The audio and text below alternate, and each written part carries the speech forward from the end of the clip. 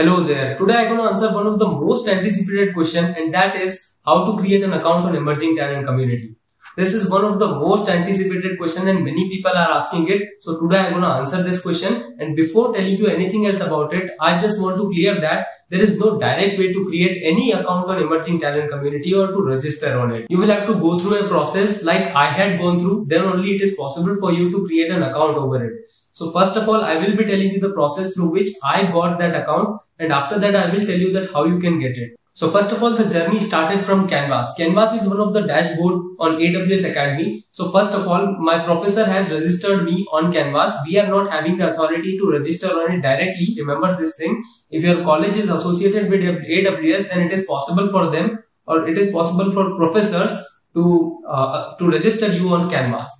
So I will tell you that thing as well that how to how to register on it or if your college is not associated with it or if you are a working professional then how to get registered on emerging talent community. And then after getting registered they have invited us to complete a course on Canvas. On Canvas after completing that course we got the emerging talent community link.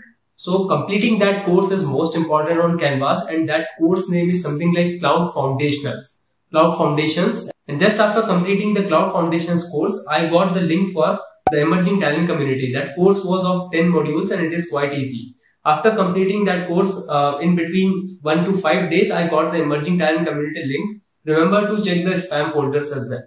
So like this, you can get the emerging talent community link. Now these things are quite easy for those students who are in colleges or whom colleges are associated with AWS. But what about those people who are not or whom colleges are not associated with AWS or who are not in college now or working professional.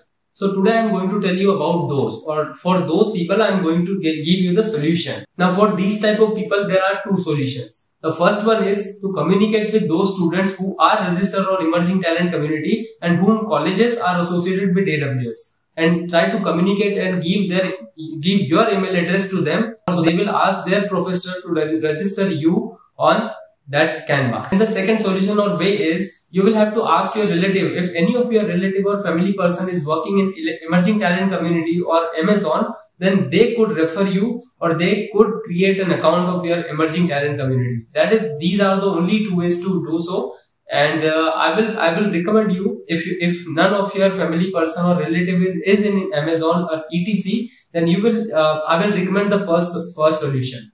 So these are the only ways to create an account on emerging talent community for those who are not in colleges and they are working professional. And if you still have any problem related to it, so please leave your doubts in comments. I will try to solve it as soon as possible. Thank you.